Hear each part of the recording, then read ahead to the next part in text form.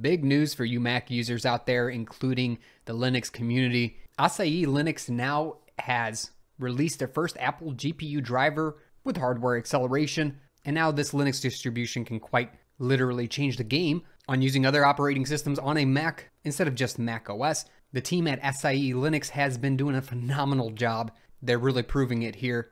Let's go through a post here, and in the post it shares a screenshot here, which is the GNOME desktop environment running a game with hardware acceleration, which is absolutely fantastic because up until now, that wouldn't be possible because the GPU drivers weren't available. What you could do before was do some simple tasks, like use a web browser, make documents, interact with the desktop a bit, but now that's all changed. In this post, they say, We're excited to announce the first Apple GPU driver release. It's been a two year endeavor to bring this new driver to everyone, and they're proud that it's finally here. This alpha driver is running a smooth desktop experience, including some games, which is absolutely phenomenal for those of you using Mac OS. If you want to switch over to Linux, now you have the option to with some basic hardware acceleration support. So specifically, we're getting driver support on the OpenGL 2.1 and the OpenGL ES 2.0 for the current Apple M series systems. That means M1 and M2 have this hardware acceleration. And one thing I don't want to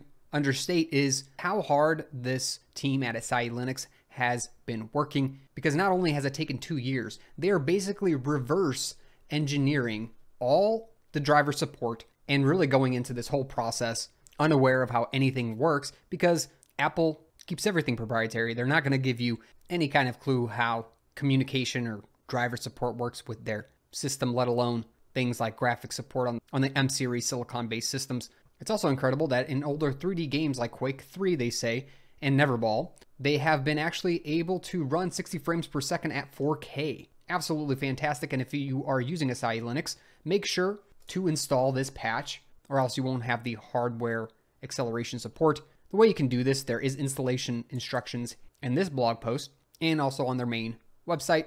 I'll post the link in the description below. But basically, to install the new drivers, you'll need to run the Linux Asahi Edge kernel and then install the Mesa Asahi Edge package.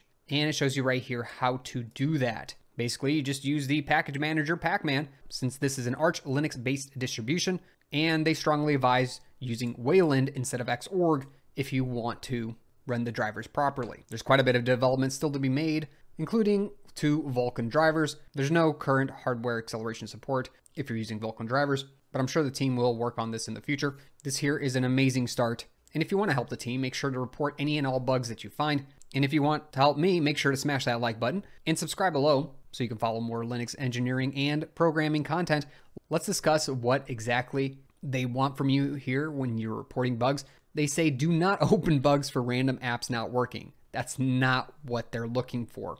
And they actually give you a list of things here to understand what to report. So let's go through this real quick. If you find an app that does not start up at all, please do not report it as a bug. Okay. If you run into issues like Linux Asahi Edge unrelated to the GPU, please add a comment to this issue. If the GPU locks up and all GPU apps stop working, then run this command, Asahi diagnose, and actually submit this as a GPU bug. For other GPU issues, rendering glitches, apps that crash after starting up correctly, and things like that, again, run Asahi diagnose and comment on this issue. And finally, in the future, if the driver update causes a regression, then post it directly to the Mesa tracker. As mentioned before, when will other drivers be ready for things like OpenGL 3, OpenGL 4, Vulkan 1.0, Vulkan 1.3?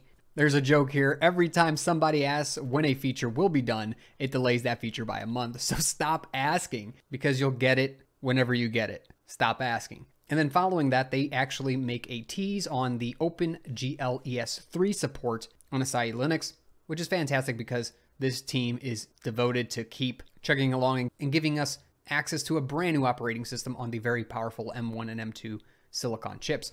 I highly suggest reading this blog post more thoroughly, especially the section on anatomy of a GPU driver. We're not going to go through that right now, but I do want to give my opinion on what Asahi Linux has done for the Mac hardware. I personally think it's a great alternative to people who want to use the powerful hardware that comes from a MacBook. I personally have one myself with an M1 processor, and I'd say even before it was usable, before the GPU driver release, but that's mainly because I don't spend much time gaming or anything. I have more of a productivity type mindset on using my MacBook, where I spend time researching on the web as well as writing stuff down. Those are the main reasons I needed to be able to use my MacBook. And now it's getting even more exciting because things like gaming support, at least the basics, is coming to a Mac near you. So let me know what you think about Asahi Linux in the comment section below. What you think about this GPU driver release. Make sure to like the video and subscribe below.